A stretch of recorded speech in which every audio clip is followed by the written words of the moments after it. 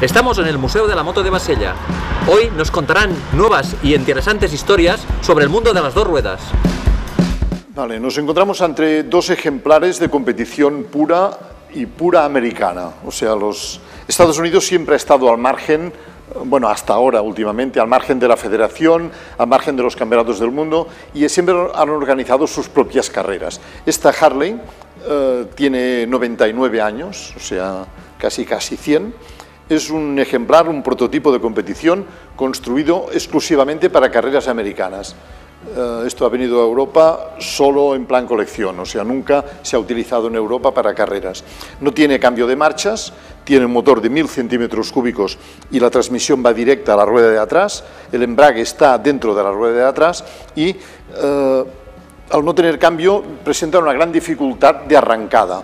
Eh, dicen o se cuenta, yo nunca lo he podido verificar, que para arrancarlas las tiraban con un vehículo, un Forte de la época, las remolcaban y cuando la moto cogía inercia las soltaban y arrancaba. ¿no?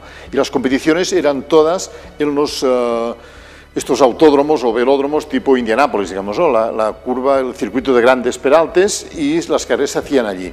Esta es de las primeras, de las pioneras. Y un caso muy parecido es la Indian, pertenece a una época un poquito más moderna, pero también tiene la misma filosofía, ¿no? carrera americana, carrera de, autódromo mm, y también lo mismo, sin cambio de marchas, una sola velocidad.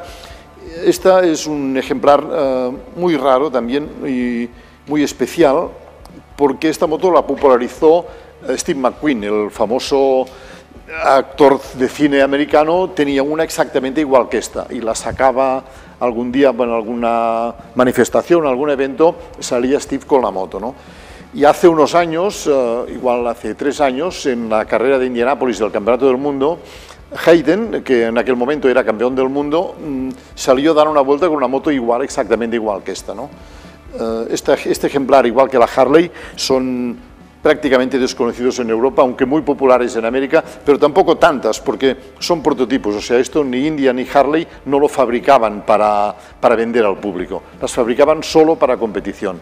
Estas motos seguro que vinieron a Europa de manos de algún coleccionista inglés y luego pues a través de subastas o bueno, al final han ido a parar al museo. ¿no?